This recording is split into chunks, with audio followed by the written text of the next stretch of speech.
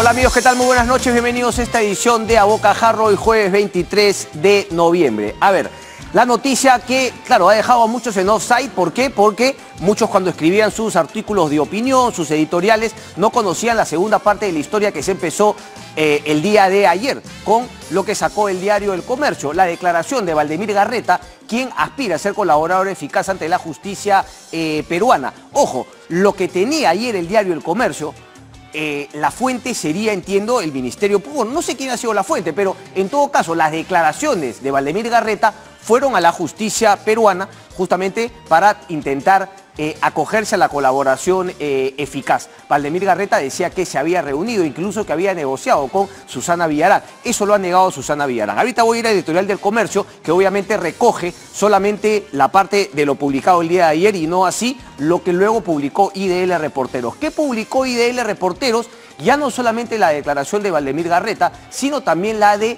eh, Jorge Barata en el caso Villarán, lo que delató Barata, que habría recibido una llamada de Susana Villarán. El superintendente eh, indicó a los fiscales brasileños que la exalcaldesa, Susana Villarán, le pidió 3 millones de dólares para la campaña contra la revocatoria. Se los habría pedido y después hay otra información, creo que es del diario La República, que dice que incluso los había llamado posteriormente a agradecerle. Es lo que dice Barata. Ojo, esto lo dice Barata, creo que la declaración ha sido en... Eh, en diciembre, ¿no? Una serie de confusiones con los nombres, se, a veces se confundía, pero hay un nombre que se repite una y otra vez.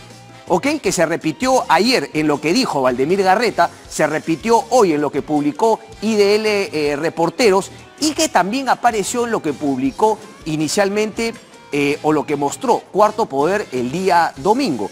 ¿A qué me estoy refiriendo? Al señor José Miguel Castro ex gerente de la Municipalidad Metropolitana de Lima. Vamos a hacer un recordaris, porque también surgieron denuncias justamente en esa época. Ojo, no estamos acusando a nadie, eso acusa, acusa el fiscal y finalmente el juez sentencia, pero parece que nadie encuentra todavía el vínculo y es que el nombre de José Miguel Castro aparece una y otra vez cuando aparece de cosas oscuras vinculadas a la Municipalidad Metropolitana de Lima. ¿Ok? Eh, ¿Qué fue lo que surgió de eh, Gabriel Prado? El ex gerente de seguridad, que había, bueno, vamos a hacer primero el recordaris, amigo de gerente municipal fue beneficiado con préstamos. Esto es del diario Perú 21, esto fue en el año 2014. Eh, Luego el diario El Comercio dice, Caja Metropolitana, gestión pasada gastó 96 mil soles en almuerzos. Dale a la siguiente, por favor, porque ahí hay una importante. Dice, Caja Metropolitana es una firma fraudulenta para un contrato. Aquí es un amigo mío que estudió Derecho conmigo, que también me gustaría que venga al programa para aclarar qué cosas conocía del tema de José Miguel Castro y la función que cumplía en la Municipalidad de Lima.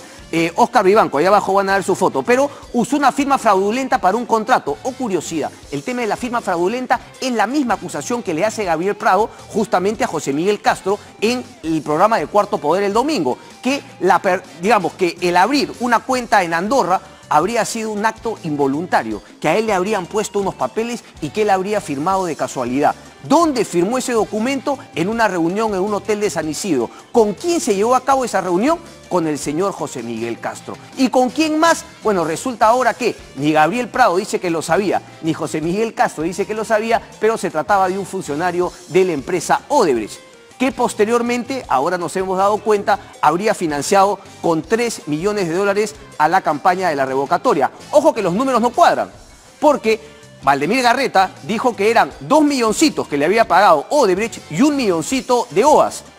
Aquí estamos hablando que estaría faltando un palito, porque estaríamos hablando de tres de Odebrecht, si es que lo que dice Barata es cierto, y lo que dijo Valdemir Garreta, un milloncito de OAS. Estamos hablando de cuatro millones de dólares. O sea, incluso hay la posibilidad de que tres millones habrían ido a la campaña y un millón no sabemos a dónde se habría ido. Ojo, Susana Villarán ha negado, y claro, comete un poco, no sé si las mismas torpezas o finalmente las mismas estrategias de algunos otros políticos. Me estoy refiriendo directamente a Keiko Fujimori cuando insiste, yo no conozco a Marcelo, yo no conozco a esto. Hay que responder las cosas que se le preguntan. Y a Susana Villarán se le preguntan una serie de cosas, pero ella no contesta esas cosas y se va por otros temas. Yo no me reuní para negociar. Yo no conozco al señor este, Odebrecht, nadie había dicho. Yo no me he reunido personalmente con Barata, tampoco habían dicho esas cosas. Es decir, incluso la misma técnica, yo no doy entrevistas para no ser repreguntadas, sino simplemente mando mensajes no eh, unilaterales. El nombre de José Miguel Castro es fundamental. Y aquí es donde yo voy a plantear un poquito lo que se ha hecho también en Brasil con la información que tienes, y lo escuchaba justamente al abogado penalista Carlos Caro Coria, tú ya puedes abrir una investigación. En el caso de Susana Villarán, no me acuerdo cuáles son los términos iniciales, ¿te acuerdas Vanessa que justamente nos había mandado un documento? Digamos, se cumplía el primer requisito para abrir una investigación, eh, una investigación preliminar a Susana Villarán. Pero si a Susana Villarán se le puede abrir esto, con más razón a Gabriel Prado y justamente al señor José Miguel Castro. A partir de ahí, el trabajo que debe hacer la Fiscalía. Tú me das información, yo te puedo ir premiando, los hago competir entre ellos, que no estén comunicados para que no puedan no generar estrategias. Parece que ya hay una discusión entre ellos, porque Gabriel Prado le echaba la culpa a Castro y Castro decía yo no sé nada, eso responde a Gabriel Prado. Generar justamente esos temores de estas dos personas que parece estarían vinculadas en temas oscuros para generar, digamos, una colaboración eficaz, una confesión sincera. Y aquí justamente quería tocar este otro tema, porque se ha hablado mucho del decreto de urgencia 003 y en la próxima semana vamos a invitar a varias personas para que hablen, porque finalmente si queremos llegar al fondo del tema, seamos conscientes. No va a ser que mañana venga otro alcalde, Luis Castañeda seguramente va a pasar lo mismo. Ya no va a ser unas empresas brasileras, ya no va a ser Grañe Montero, sino serán otras constructoras que ya empiezan a aparecer. Les voy a contar también la próxima semana estas empresas españolas y otras peruanas que están apareciendo, justamente porque las otras, obviamente, están en el ojo público. Pero no es que estén cambiando sus tácticas ni sus estrategias. Están haciendo exactamente lo mismo, sino que la corrupción va mutando. Entonces, si nos quedamos en mi enemigo político, yo te chanco acá, yo te chanco a esto, estamos incluso hablando de situaciones que ni siquiera sabemos si es que confirman o no un delito como el tema del aporte, esto va para Keiko, esto va para PPK, esto va para Nadine Heredia, porque la ley finalmente lo tiene eh, que cambiar. Entonces, nos estamos quedando en los nombres, pero no estamos yendo al sistema. Claro que hay que agarrar a los peces gordos, pero lo que debería ser prioridad no es solamente agarrar a los peces gordos, sino cambiar el ecosistema para que no vuelvan a aparecer peces gordos de esta manera. Y nadie creo que está justamente encarando ese tema. Y a esto quería llegar para terminar. Así como el decreto de urgencia 003, la versión modificada, es un tremendo palo, que algunos podrían decir, oye, pero las vas a ahogar a las empresas, las vas a hacer quebrar. Bueno, esto debería venir, creo yo, con la otra cara de la moneda. ¿Qué es lo que se ha hablado? No sé si el castellano ya buscaré la próxima semana, no sé si es leniencia o lenidad. Los acuerdos de lenidad, es decir, la posibilidad de que las empresas y los funcionarios de esas empresas, ante el temor del palo, venga la zanahoria.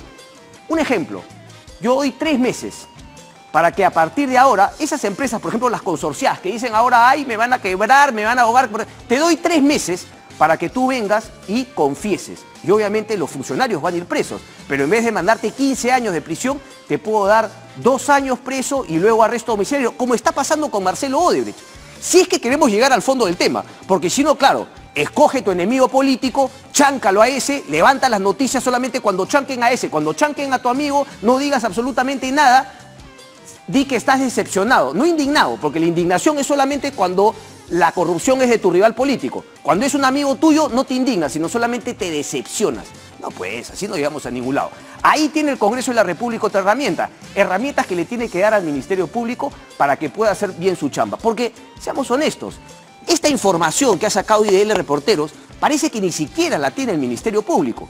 Pueden ser por dos cosas. Lo más probable es que sea incapacidad, negligencia, ineficiencia, pero quizá también la otra que no tiene las herramientas legales para poder firmar rápidamente un acuerdo de colaboración eficaz con estos funcionarios.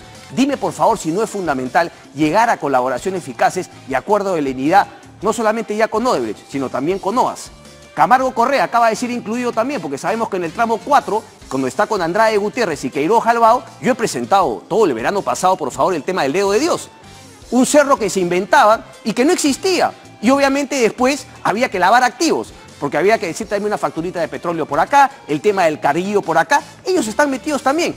Y estaba la información que desgraciadamente fue vetada en Brasil, el tema de Castillo de Arena. Pero ahí está toda la información que fue el mismo trámite una coima Alejandro Toledo a través del señor Joseph Maima.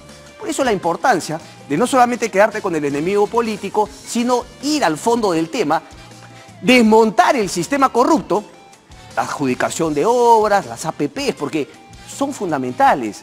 Necesitamos infraestructura urgente y las APP son una buena eh, eh, manera Pero si no corregimos el tema, como dice el experto del Banco Mundial, el señor Wash, venimos perdidos. Y así va a seguir y esto va a ser un festín. Por ahí viene un poco el tema. Solamente una última que quiero que mejore el editorial. Eh, el comercio, porque no me quiero quedar en nombres, hay una declaración de Mónica Sánchez y qué sé yo, pero es nuevamente el tema, ¿no? O sea, a veces me decepciono, pero con los otros sí me indigno. Y un poco vas en esa línea. La corrupción no tiene color político. De arriba, de rojo, de derecha, izquierda, va de todos lados. Lo último, no hace falta, además, dice la editorial del comercio, un solo centavo turbio en su bolsillo, justamente utilizando el sistema, eh, o perdón, la defensa que planteaba Susana Villarán. No me ha entrado ni un centavo a mi bolsillo. Quizá pueda ser verdad, quizá no. Pero ese no es el tema. Y con esto termino. No hace falta un solo centavo turbio en su bolsillo para hablar de una posible deshonestidad en este contexto. Bastaría que a fin de obtener un beneficio político como el de superar el intento de revocarla, hubiese mirado para otro lado mientras algún arreglo ilegítimo se estaba produciendo. Y parece que sí, porque el contexto también es complicado. Por eso urge finalmente que quieran responder ante eh, la opinión pública. No es ante la prensa, no es ante los medios, es también contra el Fujimorismo, la prensa. Es un medio para llegar a la gente. La gente saca sus propias conclusiones. Si los medios se tiran para un lado, la gente sabe. Así que no es a la prensa. Somos un medio para llegar finalmente a la opinión pública. Vamos a hacer una breve pausa. Vamos a dejar temas políticos porque también tenemos que hablar de la economía. Esto es como todo. Finalmente, el tema político impacta en la economía. ¿Cómo vamos en el tema eh, económico? Se viene el tema de la reconstrucción, va a ayudar, pero finalmente son todas cosas que no son sostenibles, ¿verdad? No es un crecimiento orgánico. Es un tema de los panamericanos, es un tema de la reconstrucción, está el tema también de la ley que ha aprobado el Congreso de la República. Populismo por el tema de los militares, pueden tener derecho, es justo, pero ¿es populista? ¿Es sostenible? El tema de las AFPs también, que se ha presentado un informe para ver cómo se eh, reorganiza, cómo se reforma este tema, varias cosas.